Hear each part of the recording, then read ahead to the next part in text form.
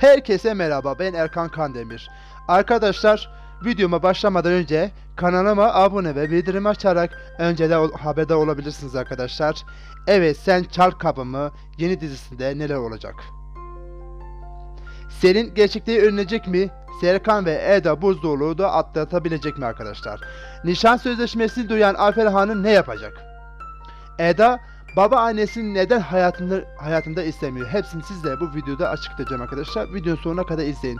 Öncelikle Eda ve Serkan ayrılmasını istiyorsanız veya ayrıca Eda ve Serkan birbirine çok yakışıyor diyorsanız arkadaşlar beğeni tuşuna basalım. Sayemizi hep birlikte görelim. Sen Çar Kapımı dizisinin yeni bölümünde dizimiz Eda Serkan'ın birlikteliği üzerinde kurulduğu için gerçekleri bir süreliğine daha da ortaya çıkmayacak arkadaşlar. Yani senin gerçekliği öğrenmeyecek. Büyük ihtimalle Serkan ve Eda bu sorunu da birlikte atlatmayı başaracaktır. Zaten sözleşmenin bu kısmı da yırtıldığı için senin sadece sözleşmenin varlığını anlayacaktır arkadaşlar. Ve sözleşmenin içeriğinde de haberi olmayacak. Ama senin bundan sonra daha fazla araştırma yap- yapmaya başlayacak. Eda ve Serkan birlikteliğinin ardında gerçeğe ulaşmak istese de buna başarılı olmayacak arkadaşlar. Ayrıca senin artık tamamen Serkan'ı kıskanıyor.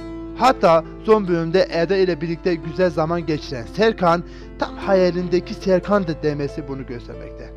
Yani senin ikilem içinde kalacak ve onu zorlu bir günende bekleyecek. Ferit en son Holding'e danışma olarak katıldı.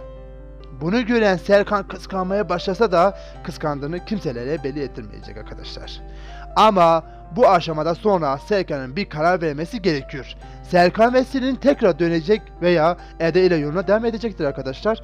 Bu yüzden Serkan bir seçim yapmama, yani yapması lazım. Büyük ihtimalle Serkan seçimini Eda'ya yana kullanacaktır arkadaşlar. Yaşanacak olan sürprizler sonucu güzel çiftimiz daha çok birbirine yakışır.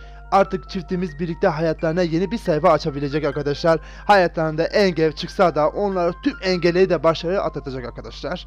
Yani sonuç olarak da kazanan aşk olacaktır. Ayfer Hanım nişan sözleşmesini duyduğunda Eda ve Serkan birlikteliğini şüphelenir.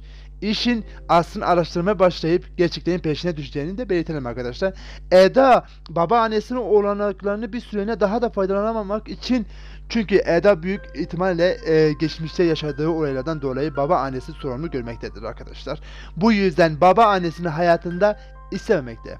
Fakat babaanne Eda'yı geçmişten beri gizlice izleyip onu yalnızca bırakmayı niyetli değildir arkadaşlar. İlerleyen bölümünde babaannenin diziye gelişi Eda'nın hayatının tümden değiştirecektir arkadaşlar. Peki sizce Selin gerçeklere ulaşabilecek mi? Aşağıda yorumlarınızı bekliyor ola- olacağım arkadaşlar. Birlikte bu videonun da e, sonuna geldik. Evet, evet bu böyle videonun devamını istiyorsanız arkadaşlar kanalıma abone ve bildirim açarak hatta yorum ve beğeni yaparak bana büyük destek olabilirsiniz. Kendinize iyi bakın. Sizleri çok seviyorum.